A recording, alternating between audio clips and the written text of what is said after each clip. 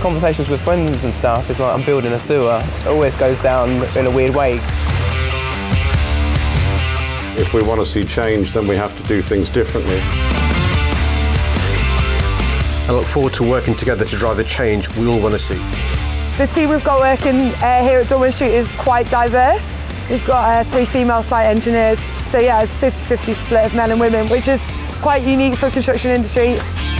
It's completely different to the day when I first started. We've got about five to six metres of archaeology to take down till we hit the natural deposits. One's a William III penny. It's great for any young people coming into the game. I think for health and safety, it's Tideway is way up above the rest. We established quite a good relationship with the locals and that. There is a monthly engagement with the community to run through the questions and concerns. The cuthead is the main business end of the TBM. It's the piece that will be in contact with the ground at all times. The lads down the hall are preparing the, the shaft bottom for us. We're preparing the machines. We'll drop them down in the next month.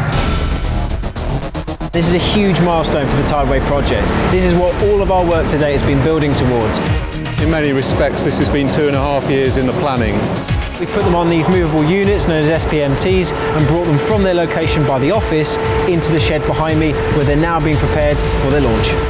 As you can see, Ursula's just behind me. The plan is to take her into the shed, do our test lift, get her all ready. We will lift the gantry up over the TBM, lower it back down, connect it up, test lift, skid it out into the shaft.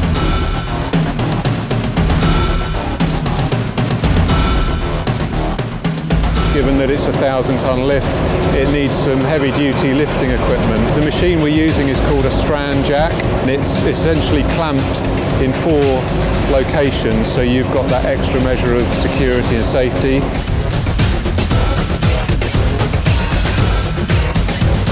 From there, over about eight hours or so, it's going to be lowered very, very slowly to the bottom of that 53 metre deep shaft and then jacked into position into the tunnel adit.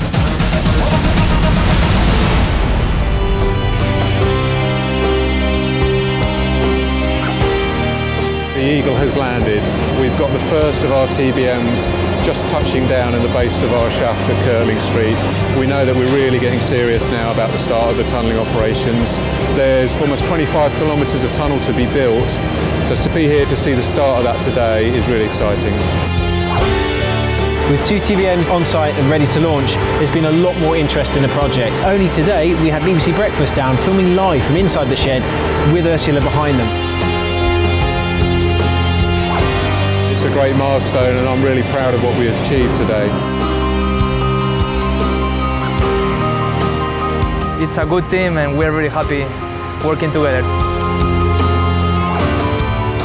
Let's get tunneling.